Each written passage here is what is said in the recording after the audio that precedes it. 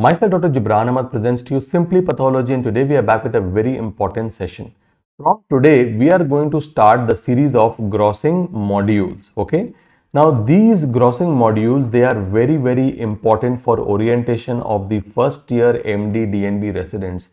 Why it is very important? Because you need to understand what is your role as a pathologist, okay, while you are giving the grossing not only the first year but also the second as well as the third year residents who are already giving the grossing so it is very important for you. You might be making some mistakes okay? And there might not be anyone to highlight those mistakes. So this is your only chance from where you can understand if you are making any kind of mistakes okay? So grossing is very very important and it is the first step in the histopathology okay? And grossing is a is, is an art of taking a very representative section and if you are not taking or not doing the grossing properly then you might not be able to report that particular histopathological specimen okay? So grossing is very important okay? Because you need to understand the concept of representative samples. Only when you give proper representative samples that you will be able to report a particular specimen okay?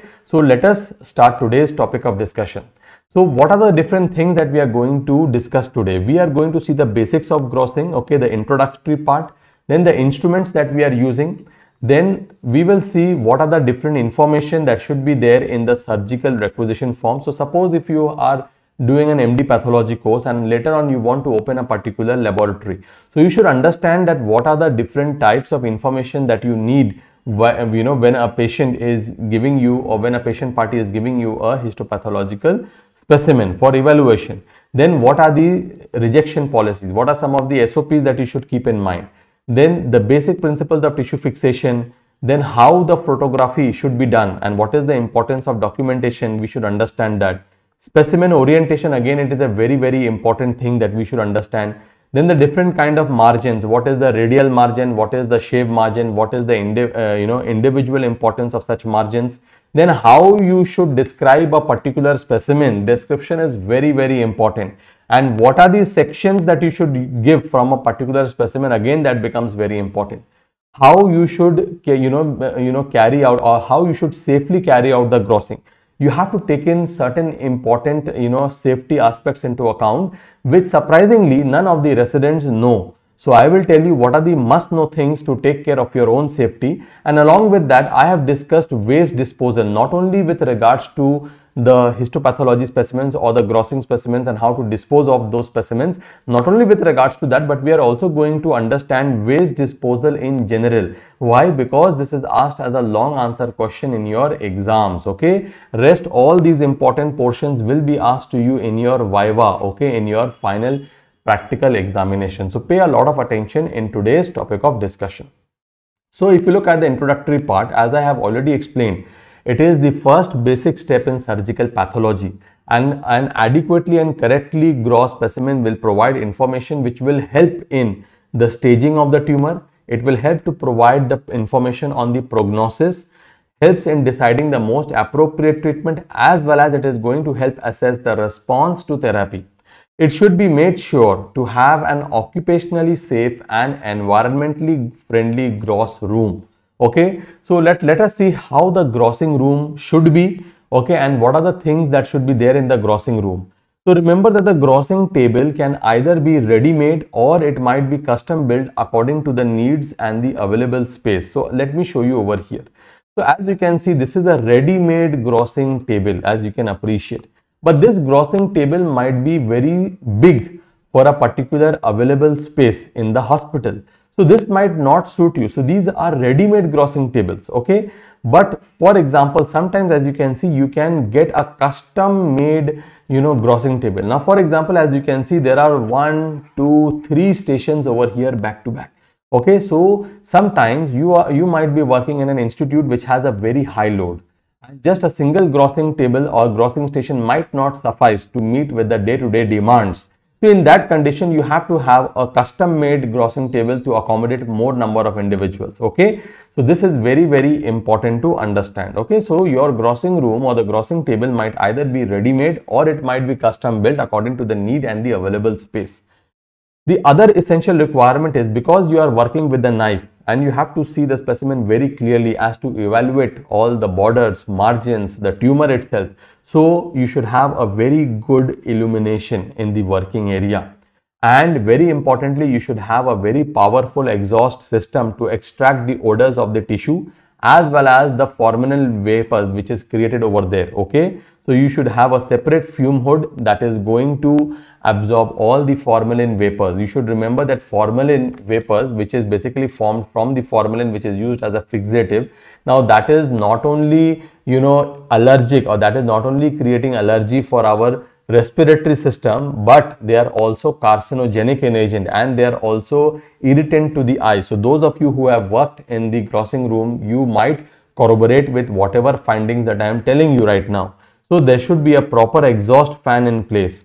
There should be writing boards should be there in the place because one person who is grossing then another person should be there with the writing board okay and that writing board should have place to hold basic stationery and as well as small instruments such as the scalpel blades.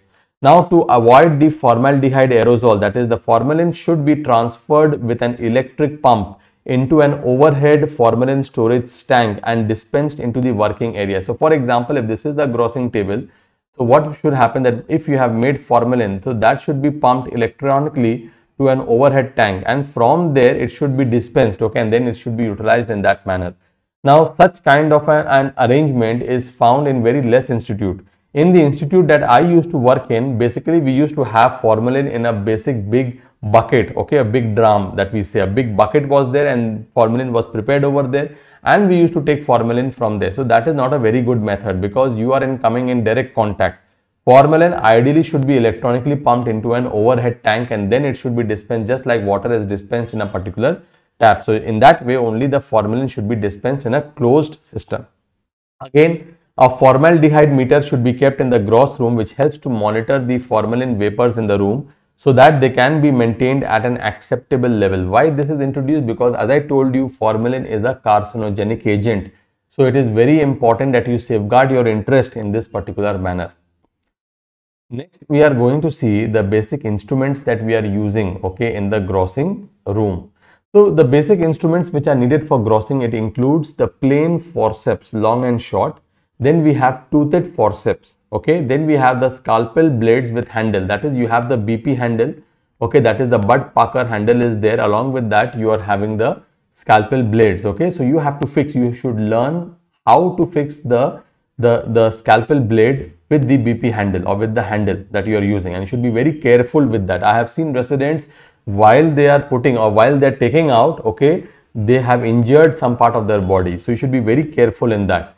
Then we are having knives of various length. Okay. Then we have scissors. Now scissors can either be straight and sometimes you might need a curved scissor as well. Okay. Now these scissors might be small as well as large and they might have pointed ends or they might have blunt ends. Then there should be a wire probe very important when we are you know having a specimen of the Whipple's.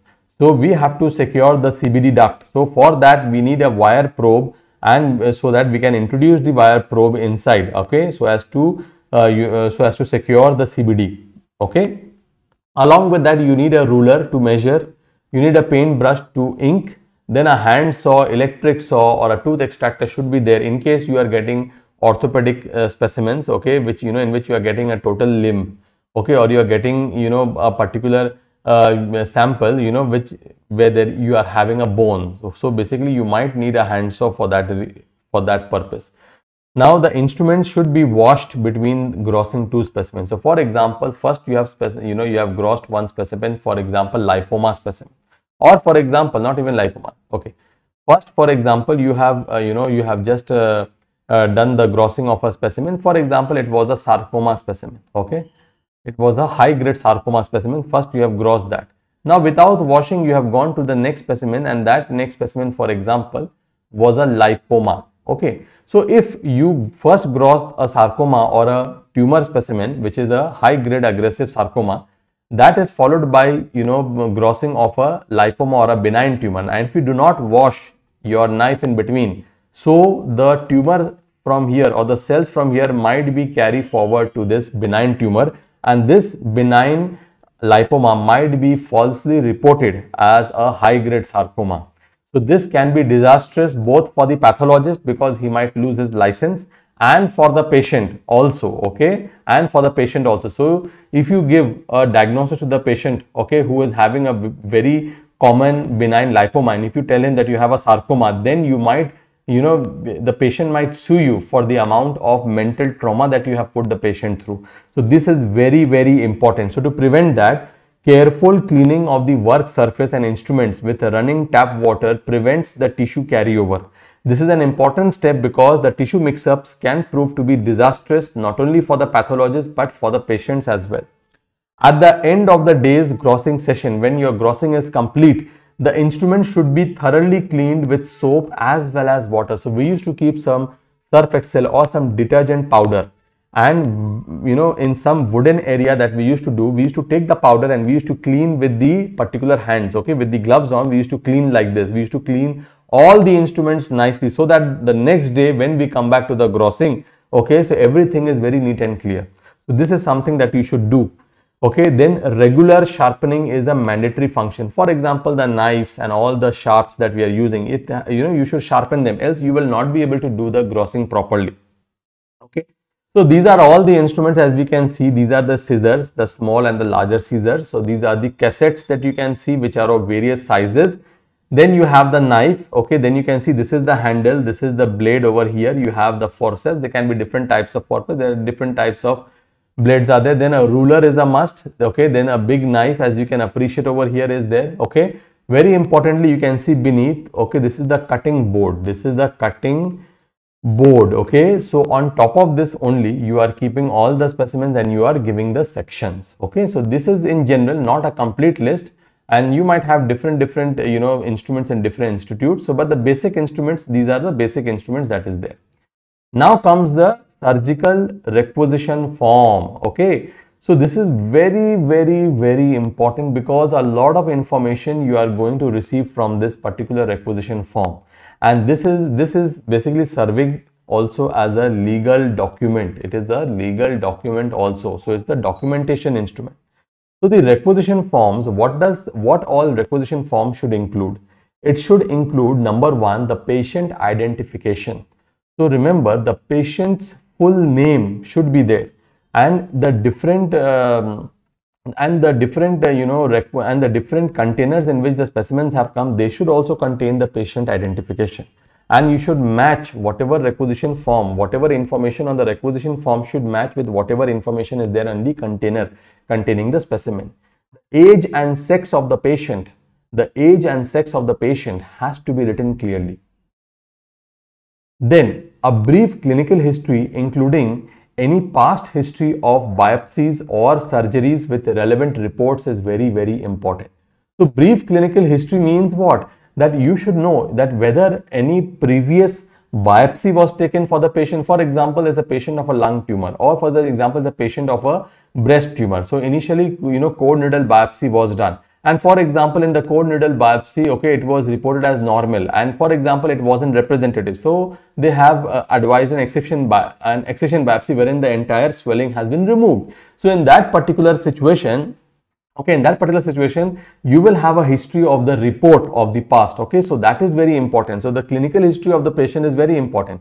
For how much duration the swelling was there whether it's a short history or long history whether clinically the particular surgeon is uh, you know is the clinically he is thinking of a carcinoma or a benign tumor. So that history is very important okay? With relevant reports okay so the exact anatomical site from where the tissue was removed and the type of surgical procedure which was done, whether a lumpectomy was done or a complete MRM modified radical mastectomy was done.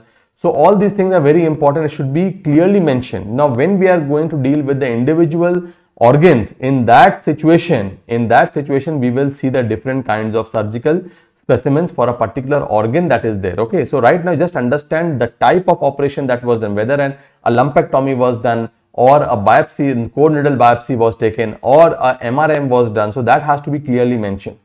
Then the radiological findings especially in case of bone and brain tumor is very important because for example whether it was a solid tumor or it was a cystic tumor what is the location of the tumor? So that again plays a very important role. The provisional diagnosis, okay, clinically whether the surgeon or the, the referring clinician, whether they are suspecting a particular tumor. So for example, if a tumor looks like a fibroadenoma, then they will say query fibroadenoma. If it is looking like a lipoma, so from seeing you can say it is a lipomatous tumor. If for example, you have got a uterus cervix, so over there you have multiple fibroids, so they will write query fibroids. So the provisional diagnosis also helps us, okay. Then the doctor who is making the request, so you should write down the designation of the doctor, whether it is received okay from which department what is the designation of the particular doctor okay? And the top of the form should have prominent slots. Now if the patient was already admitted in a particular hospital so the hospital registration number is a must. Along with that you will also have to give a separate pathology number okay? That is the departmental pathological number that is there okay? So these are all the information that should be present in the surgical pathology requisition form now, there are certain policies in place as to what is the rejection policy. You should be very, very thorough with these policies. The first step is to confirm that the patient identification information on the requisition form and the specimen container should match. This is already something that I told you. So, whatever information is, is present of the patient, okay, on the requisition form and the container, they should match each other. The number of specimens mentioned on the form should also tally with the number of containers received. So for example, they have written that we have sent three specimens. So whether the three specimens are there or no, you have to check before receiving because tomorrow, okay, the department or for example, the relevant clinician might say, no, no, we have sent three specimens, you have lost. So in that case, you will fall into the legal dilemma and let me make it very clear for you people it doesn't matter if you are a resident okay? Legal action can be taken on residents also okay? So you are also now obliged okay? Legal action can be taken on the dmlt students or the medical technologist that is working with you because all of you have some registration number. So you are you know accountable for all of your action because you will see whenever you do the grossing they will say the grossing was received by so and so person in this day okay the grossing was carried out by so and so person. If there is one first year resident one second year resident both of your name will be there. Whichever medical technologist was assisting you his name will be there. Whether any student was there that person's name will be there because all of you are legally accountable for that. The pathology number generated should be affixed both on the requisition form as well as on all the containers. So suppose you are giving a number as 1 2 3 4 5 this is the pathology registration number departmental number so this number should be given on the requisition form also and this number should be given on all the containers. Okay, on all the containers this number has to be given. Again, you should document the condition in which the specimen was received should be noted whether the specimen was fresh and unfixed or it was fixed in adequate or inadequate amount of formalin or whether the specimen was autolyzed. This is very very important most of the times formalin is not available in the operation theater. So what the surgeon does they will just give in the normal saline and they will send you. Okay so this is very important to note whether you can just smell it and you can understand whether it is, is formalin or no. A specimen may not be accepted if a major discrepancy is noted. The rejection criteria should be clearly defined. So for example if you can see that the requisition form has one uh, you know has has one particular name of a patient whereas the specimen has another name. So straight away you cancel out. If the name is matching but for example the age and sex is not matching again you should reject it and you should give reason of the rejection. So the errors can include incorrect or no patient identification, a mismatch in the number of the specimens mentioned in the form and those received and the request for investigation is not offered in the vital laboratory. For example, they have sent you, they have, they already have a diagnosis and for example, right now they have sent you a particular specimen and they want you to carry out uh, certain investigations like immunohistochemistry. The major target is to do IHC. So for example, you should reject with a reason that you know IHC is not carried in our institute or in our organization. A certain test they have requested which you do not carry out in your institute. So you should write down that this relevant investigation is not available. The specimens are then returned and all details including the reason of rejection is entered into a specially maintained rejection logbook. Why it is very important? Now sometimes for example in a in a, a government setup wherein you have loads and loads of sample. So sometimes what happens that people tend to you know reject okay okay they, they do they, they tend to reject outright Sometimes you might tell the patient party that this is the problem, you correct this problem, then you bring it back, we will accept. So such counseling is not done. So that is why you have to maintain the rejection logbook so as to understand. So ideally, not more than 1 to 2% of the cases should be rejected. If more than 5% cases are getting rejected, that means there is a problem at the receiving end of the particular laboratory. Okay. Now the tissue fixation. Now we have already read in details about the fixation okay in our course of basic histopathology and tissue processing course in our postgraduate MD DNB pathology bundle. So over here we are just going to see some of the basic points okay. So good fixation of the tissue is a prerequisite for anatomical pathology for carrying out immunohistochemistry as well as for molecular pathology studies. The importance of using sufficient volume of correctly prepared fixative on adequately exposed tissue cannot be overemphasized. Okay. Formalin is the most widely employed universal fixative. It should be freshly prepared, buffered and used in correct quantity. I will teach you what is the meaning of buffered and how you can prepare. Okay. Small specimens are fixed after noting all the gross features namely the size, shape, color, consistency, hemorrhage, necrosis, etc. Big oncology resections are preliminary examined for the salient features and the external surface is then painted with marking ink. Now, inking is not you know carried out routinely in all the HP in all the uh, colleges in India. The inking is done but only the margins are inked. But the whole specimen as such is not inked in all uh, you know histopathology labs across the country. But the bigger specimens, you know, one day before you carry out the, the grossing, you should carry out the pre-gross. So the bigger uh, specimens, they are cut open or they are bisected because you need to cut open the bigger specimens so as to allow the formalin to enter the specimen and to allow fixation because if the fixation is not done, the specimen will be soft and you will not be able to cut that particular section. You might not be able to take proper sections. In case of huge tumors such as soft tissue sarcomas, after preliminary gross examination, the specimen is inked and then sliced in regular manner, taking care to avoid distortion. So let me just tell you one thing.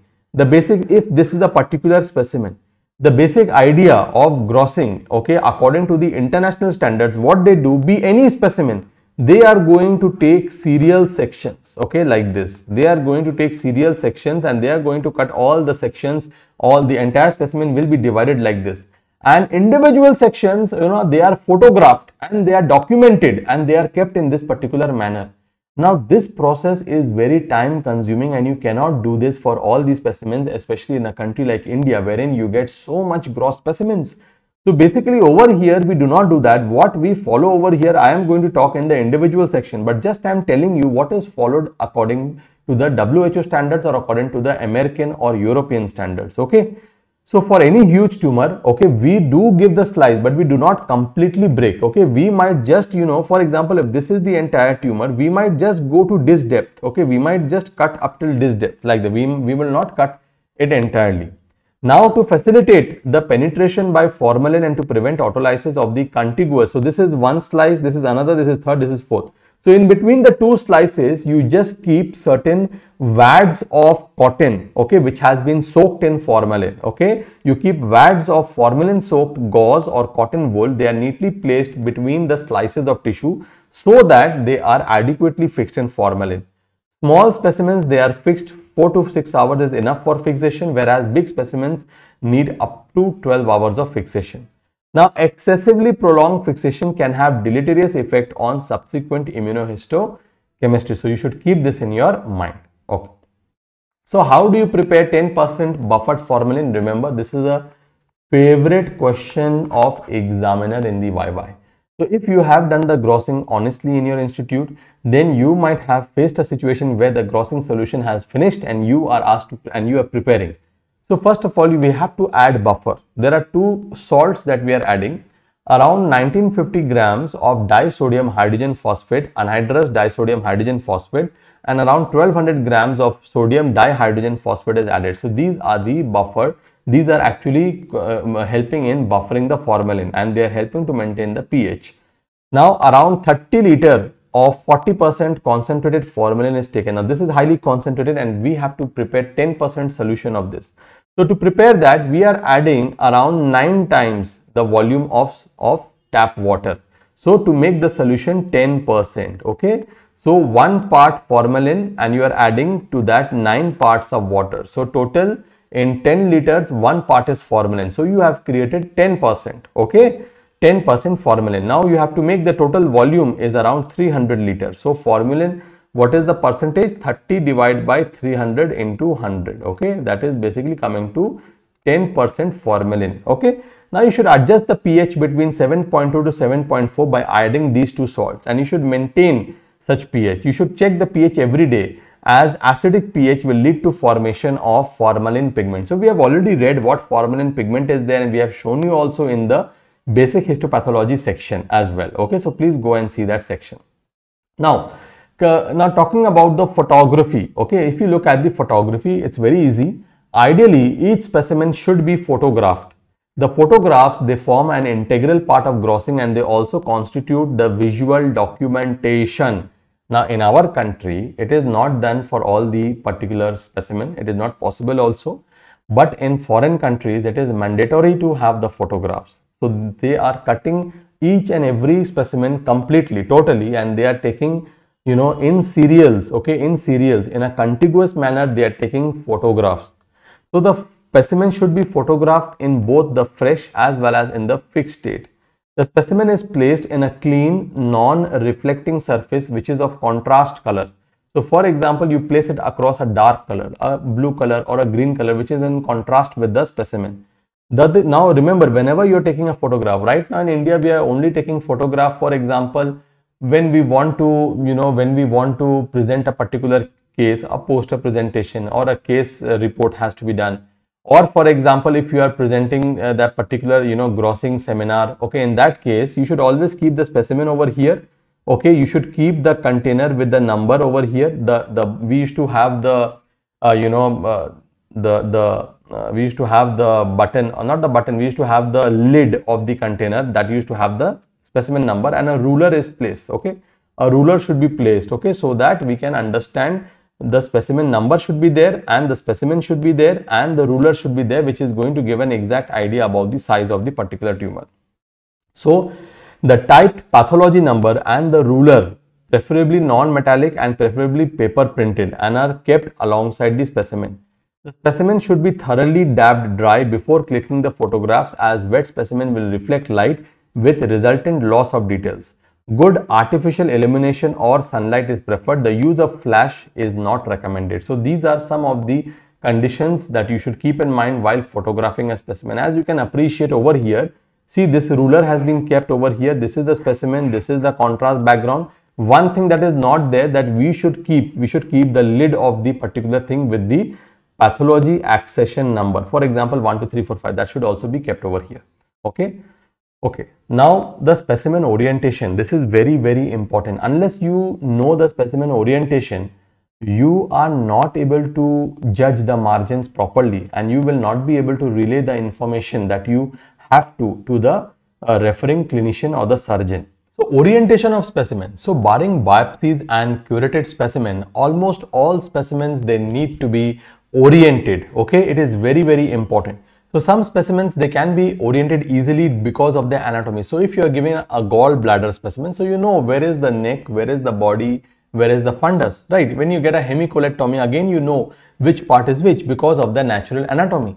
But however certain specimens such as the breast lumpectomies or soft tissue excisions so for example a breast lumpectomy if it is provided without any orientation how do you know which is the medial aspect, which is the lateral, which is the superior, which is the inferior, which is the anterior, which is the posterior? So there is no way to understand that.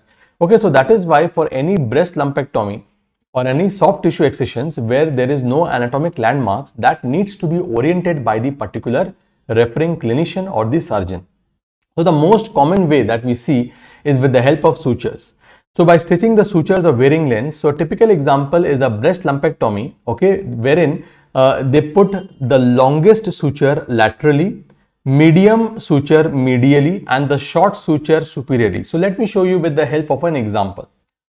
Over here you can see a particular, you know, breast swelling as you can appreciate, a particular swelling is there. So see how they have oriented.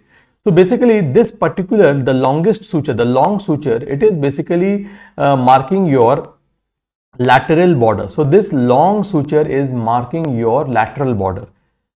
Whereas this medium suture as you can see, this is the medium suture, this is marking your medial border.